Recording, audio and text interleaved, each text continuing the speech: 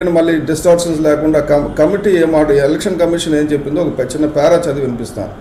The commission commission categorically rejects any attempt or even hint of any organisational post being of permanent nature being internal inherently anti democracy any action which denies the periodicity of elections is in complete violation of the extant instructions of the commission.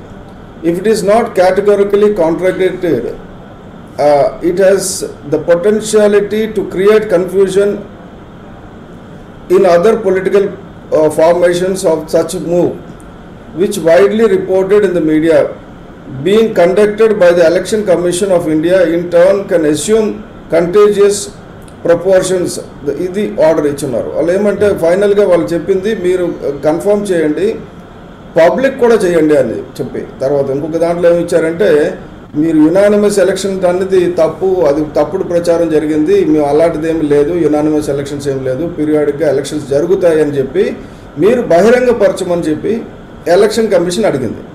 అడిగిన తర్వాత ఇప్పుడు సజ్జల రామకృష్ణారెడ్డి గారు వచ్చి ఇంకో నొక్కులు సన్నాయి నొక్కులు నొక్కుతున్నారు media మీద. మేము చెప్పాం కానీ ఆయన ఒప్పుకోలేదు.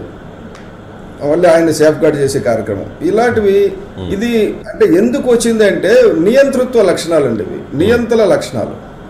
నార్మల్గా ప్రజలందరూ మంచిగా ఉంటే వాళ్ళే ఉండాలని అనుకుంటారు. కానీ ఎవరు పార్టీ పెట్టినా బాగా ఉన్న మెజారిటీ ప్రజలకు ఆ పార్టీలో ఉన్న వాళ్ళకి నచ్చలేదు అనుకోండి అధ్యక్షుని మార్చుకోవచ్చు.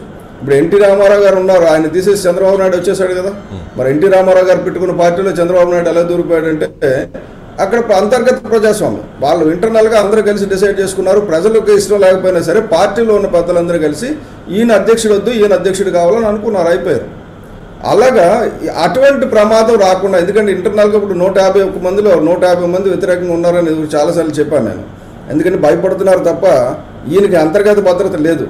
అందుగురించని ఇంటర్నల్ సెక్యూరిటీ గురించి అని చెప్పి ఆ- ఆ ఏర్పాటు చేశారు. అది కుదరదని ఎలక్షన్ కమిషన్ సత్య గారు అంటే ఇన్సెక్యూర్ ఫీలింగ్ ఏదైనా ఉందా జగన్మోహన్ రెడ్డి గారికి?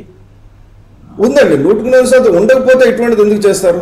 ఎందుకంటే ఇన్సెక్యూరిటీ ఫీలింగ్ ఎప్పుడు వస్తుందంటే నియంతృత్వ లక్షణాలు బాగా పెరిగిన తర్వాత ఎమ్మెల్యేలు వాళ్ళందరూ విడివిడిగా మీటింగ్లు పెట్టుకొని ఎందుకంటే ప్రజల దగ్గరికి వెళ్తున్నారు వాళ్ళకే తెలుస్తుంది కదా. ఏ ఏ నిర్ణయం ఉండదు మంత్రులకి అపాయింట్మెంట్లు ఉండవు. ఆయన ఆయన ఇప్పుడు ఇదివరకు ప్రజల్లో రోజు తిరిగేవాడు.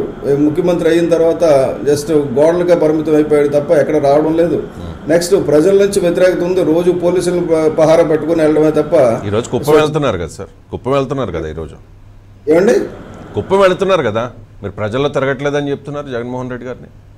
అంటే ఇప్పుడు ఆయన ముఖ్యమంత్రిగా ఆయన బాధ్యత ఏంటంటే ఏ ప్రాంతానికైనా ఎవరైనా వెళ్ళొచ్చండి. ఇప్పుడు కుప్పం నాకు అదే కొద్దిగా ఆశ్చర్యం వేసిందంటే ముఖ్యమంత్రి గారు కుప్పం వెళ్తే ముఖ్యమంత్రి గారు ఎక్కడికైనా వెళ్ళొచ్చు. ఈ భారతదేశ పౌరుడిగా ఈ రాష్ట్రమే కాదు ఏ రాష్ట్రంలో ఏ ప్రాంతానికైనా వెళ్ళొచ్చు. దానికి ఏం రిస్ట్రిక్షన్ లేదు. అలాగే వెళ్ళడానికి వీలు కావడం లేదు అంటే అది అది ముఖ్యమంత్రి గారికి అవమానం. ఇదే రాష్ట్రంలో వేరే రాష్ట్రం అయితే వేరు. ఈ రాష్ట్రంలో ఉన్న ప్రజలు ఎక్కడికైనా స్వేచ్ఛగా తిరగలేకపోతున్నారంటే శాంతి భద్రతలకు భంగం వాటిల్లుతుందని అర్థం. కాబట్టి శాంతి భద్రతలను ఇతను కాపాడలేకపోతున్నాడు అని అర్థం. అటువంటి కాపాడలేని వాడు ముఖ్యమంత్రిగా ఉండడానికి అనర్హుడు అని అర్థం. అంతే అంతేగాని ఛాలెంజ్ చేస్తాను నువ్వు వెళ్తాను నువ్వు రా నేను చూస్తానంటే ఈ పోలీసులు అడ్డు పెట్టుకుని వ్యాపారం చేయడం కాదండి. ఇది ఇది కరెక్ట్ పద్ధతి కాదు. ఎందుకంటే డెమోక్రటిక్గా ఉంటే ఇంకా కొద్దిగా టైం ఉంది. జగన్మోహన్ రెడ్డి గారు కొద్దిగా పద్ధతులు మార్చుకుని డెమోక్రటిక్గా ఉండి తను తిరుగుతూ అందరినీ తిరగనిస్తే ప్రజాస్వామ్యానికి మంచిది. రైట్ అండి. సయ్యద్ రఫీ గారు జాయిన్ అయ్యారు. తెలుగుదేశం పార్టీ అధికార ప్రతినిధి అలాగే సుందరాం శర్మ గారు జాయిన్ అయ్యారు. అధికార వైసీపీ అధికార ప్రతినిధి. మీ ఇద్దరికి అవకాశం ఇస్తాను. ఈ లోపల